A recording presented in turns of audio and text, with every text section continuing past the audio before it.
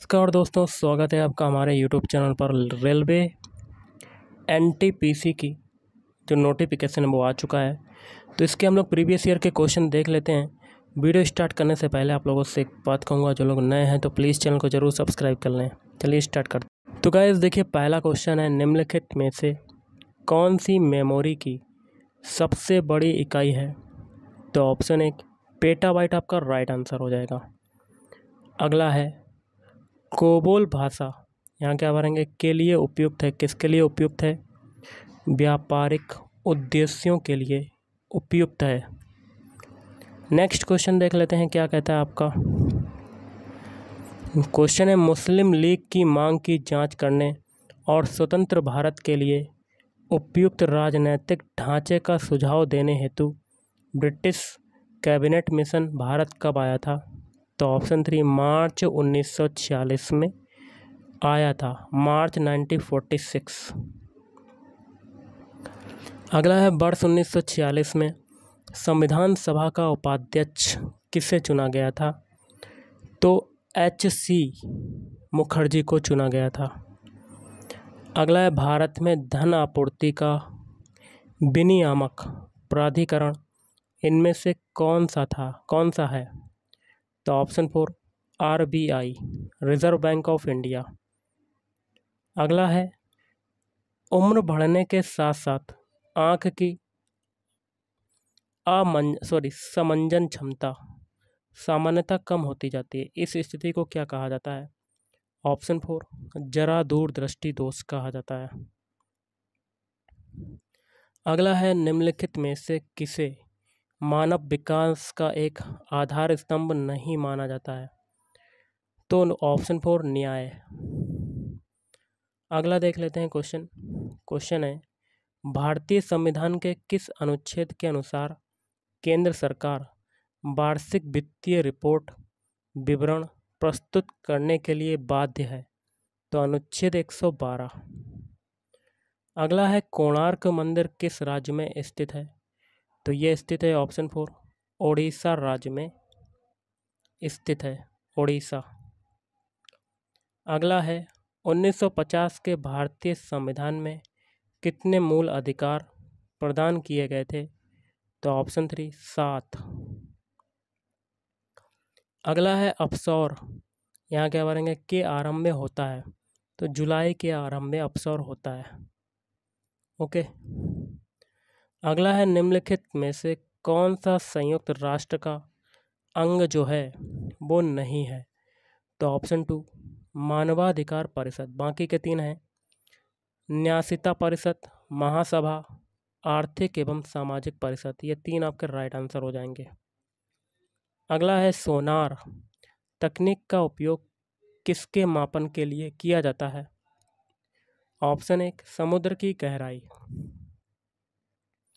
अगला है भारत में संगठित क्षेत्र का सबसे बड़ा नियोक्ता कौन है? ऑप्शन फोर, भारतीय रेलवे। नेक्स्ट क्वेश्चन है आपका, स्त्री पुरुष तुलना, महिलाओं और पुरुषों के बीच तुलना नामक पुस्तक किसने लिखी थी, जिसमें पुरुषों और महिलाओं के बीच की सामाजिक भिन्नताओं की आलोचना की गई थी? तो ऑप्शन फोर, ताराबाई सिंधे। अगला है, गैस्ट्रिक ग्रंथियाँ पाचन के दौरान, यहाँ क्या बनेंगे एंजाइम का उत्पादन करती हैं जो प्रोटीन को पचाता है। तो ऑप्शन टू, पेप्सिन।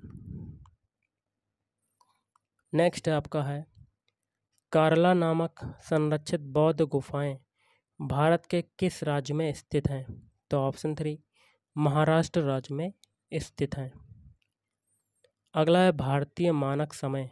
ग्रीनविच माध्य समय से कितना आगे है?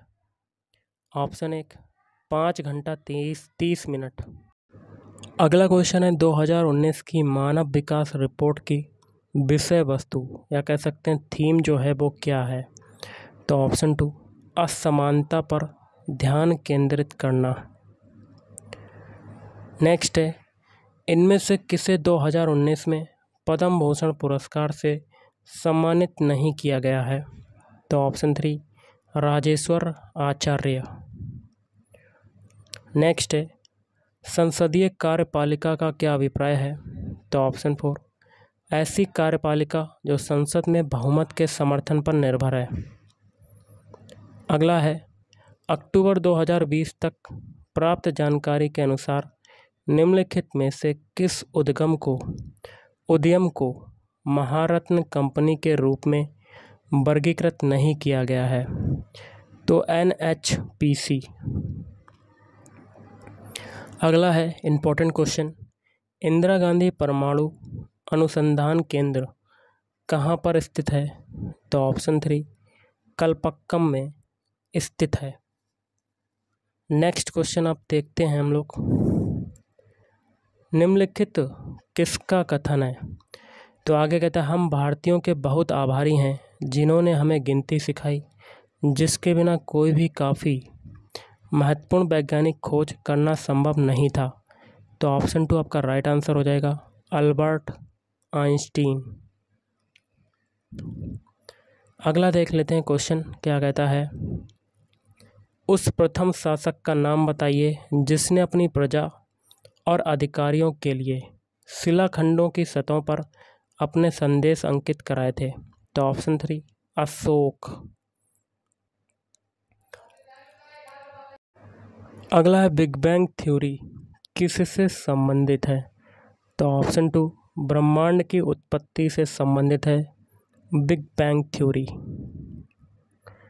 अगला है, मानवाधिकारों की सार्वभौम घोषणा यूडीएचआर एक ऐतिहासिक दस्तावेज़ है।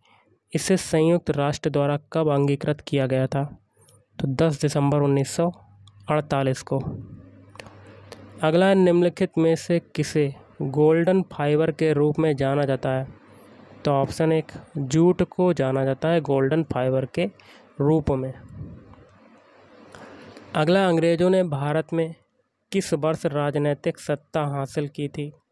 तो ऑप्शन एक, सन सत्रह सौ सत्तावन में।